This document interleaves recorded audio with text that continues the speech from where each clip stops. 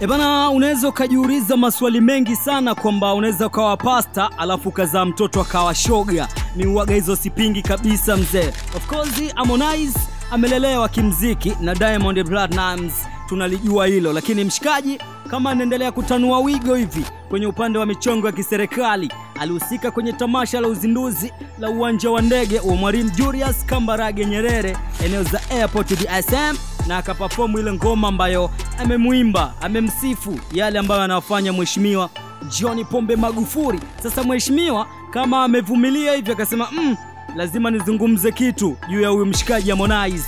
Juskati kati kulikuwa na mchongo unaendelea kule Tandaimba au vipi eh? Nazungumzia Mtwara.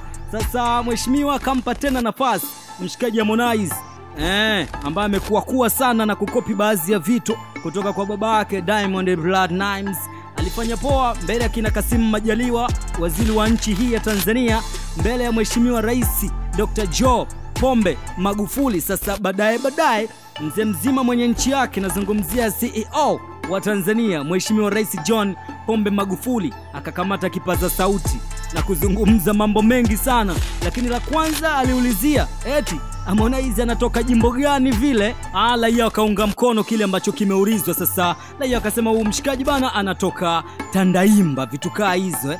Mheshimiwa akauliza swali lingine, mbunge wa Tandaimba ni nani? Raia wakakomenti tena jina ambalo walilijua muda huo. Sasa akasema anatamani yani kuona mshikaji wetu Harmonize kuanza na mheshimiwa miaka ijayo, yani kugombea hilo jimbo la Tandaimba la furahia waweze kumdondoshea kura. Sasa usishangae 2020 kwenye uchaguzi wa majimbo yale, mshikaji akatua bungeni, alafu tukawa kuna Sugu, Profesa J au vipi eh, pamoja na Mnyamwezi Harmonize aka Rajabu, mtoto kutoka Mtwara pale eneo za Tandaimba. Sasa jamaa kama amebezi sana hivi projekti zake kufanya na serikali ya awamu ya tano, na kweli manufaa tunayaona, lakini nakukumbusha kwamba kupitia Instagram update Harmonize ni moja ya mshikaji ambaye ataperform kwenye ule mchongo wanasema One African Talent ambao wanashirikiana na Dubai Festival mwezi Novemba tarehe 15.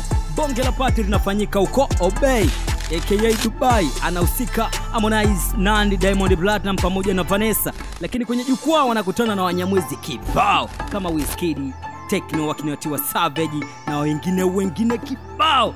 Leo Magu, rais wa Tanzania, amebrace safari ya Harmonize kwenda kugombea ubunge 2020 baada ya kutamka live mbele ya umati wa watu. Kwa hiyo inawezekana nyota ya Harmonize inazidi kuwa juu sana. Sasa hili zitatizo, ngoja tuone 2020 itakuwaje. Karibu sana Kaskazini Mix, hii ni Instagram update all the way, inaitwagwa Modizi kutoka Kaskazini Mix. Bye.